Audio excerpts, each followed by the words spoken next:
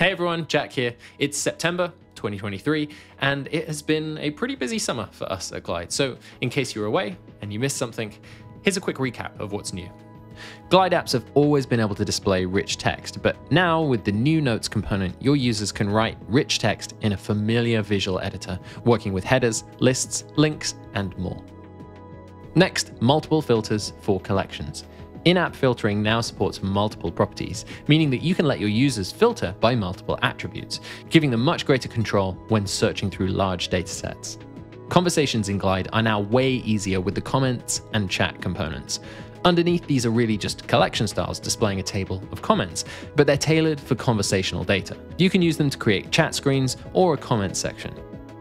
And if you want to try it out right away, just add the sample screen.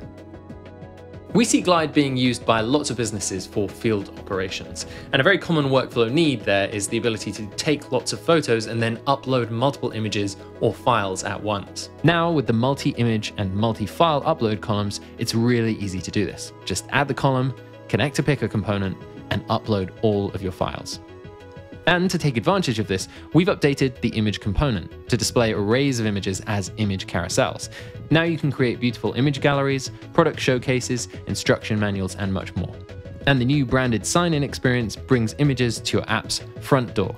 You can choose a custom background image, logo, and text, giving a really nice vibe.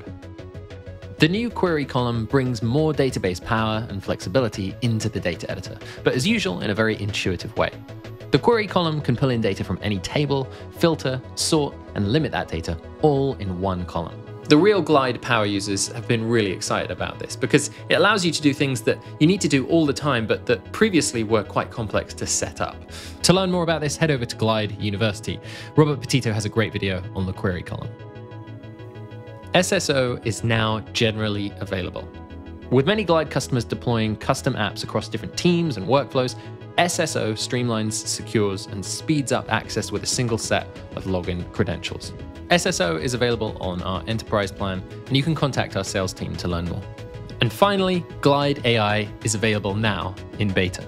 Glide AI is a set of building blocks that makes it easy to create AI powered apps with your business data. With features like audio to text, image to text, structured data formats, and text generation, you can build incredibly powerful and custom tools for your business. Now, it's early days, but we're already seeing a ton of people adding Glide AI to their existing projects. It's really easy to underestimate the difference between using a simple tool like ChatGPT and then designing exactly the way that AI should work right inside your business data. So that's a look at what we shipped at Glide over the summer.